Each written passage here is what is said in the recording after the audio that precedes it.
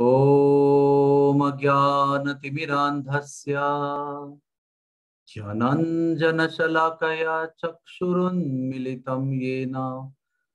तस्मै श्रीगुरुवे नमः। श्रीचैतन्यमनोभीष्टं स्थापितं येन भूतले। स्वयं रूपः मह्यं ददाति स्वपदान्तिकम्। श्रीकृष्ण चैतन्य प्रभु नित्यानंद श्री अद्वैत गदाधर श्रीवासदि गौर भक्त वृंद हरे कृष्ण हरे कृष्ण कृष्ण कृष्ण, हरे हरे हरे राम हरे राम राम राम, हरे हरे। हरे Krishna. Few days ago we discussed about gadadhar pandit. Kshetra Sannyas, Chaitanya Mahaprabhu telling him to go back and maintain his vow of Kshetra Sannyas. Taking that topic further of the vows taken by devotees for the pleasure of the Supreme Lord and for the pleasure of the spiritual master. Chaitanya Mahaprabhu says that in my heart, I will love you to come with me to Vrindavan. And because you have taken Kshetra Sannyas, it is very important for the devotee to maintain his vow which he has taken. So, for maintaining your vow, you will have to leave me, not come with me to Vrindavan, and go back to Tota Gopinath in Jagannath Puri. Chaitanya Mahaprabhu remarked that for the devotee, maintaining a vow is an extremely important aspect of devotional life. So please go back. Similarly, we have been talking about uh, the holy name, the chanting of the holy name, for months and months together now. One of the important aspects of chanting of the holy name nicely is to maintain or follow the vows that we have taken at the time of initiation.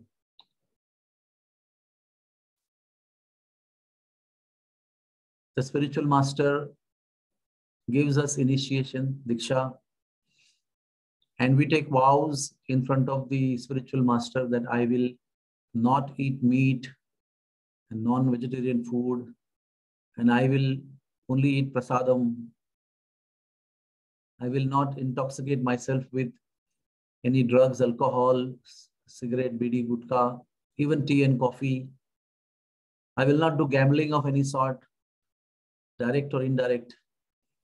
And I will not have any connection with woman or man outside of marriage. I will avoid illicit sex. So these four vows actually make us eligible to be called as human being. Till that time, we are simply two-legged animals. You know, animalistic attitude in human body when we do all these uh, nonsense activities and contaminate ourselves. And when we follow these four principles very seriously, we will be able to create a pure atmosphere in the heart, which will help us to chant very attentively and attain the goal of life. Following the four principles of purification, they are called as four regulative principles of purification. They are the chastity of the disciple towards the spiritual master.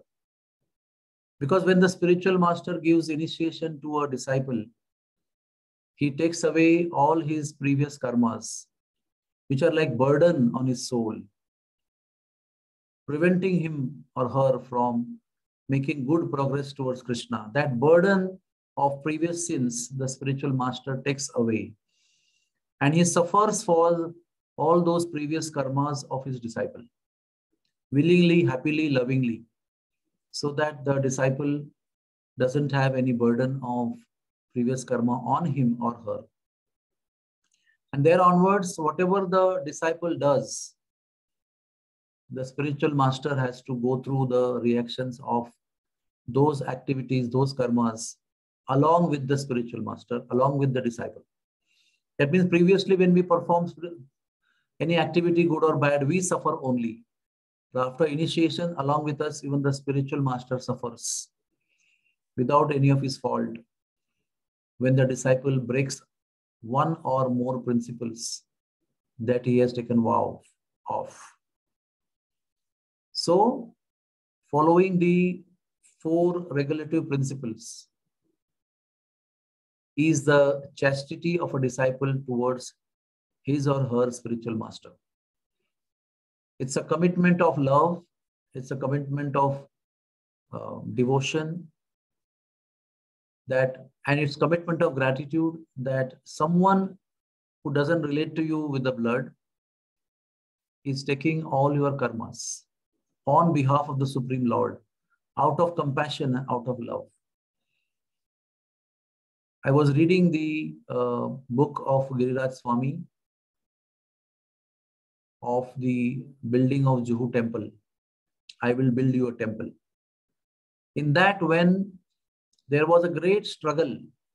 I was feeling so uneasy when I was reading that struggle with Nair, with Mr. A.B. Nair, who owned the Juhu land. And there was so much trouble, pages after pages it is written, how much trouble he created for devotees. At that time, the devotees like Giriraj Swami were continuously communicating with Prabhupada of what's happening there. And there is there are lots of number of letters back and forth from devotees and from Prabhupada to devotees. And suddenly Prabhupada writes in between, please listen carefully. Suddenly Prabhupada writes in between, please follow the four regulative principles strictly and everything will be all right. I was very struck with this statement. All legal matters are discussed in detail, all pin codes and these and papers and agreements and so many things were discussed. Suddenly Prabhupada says, Please follow the four regulatory principles strictly and everything will fall in place.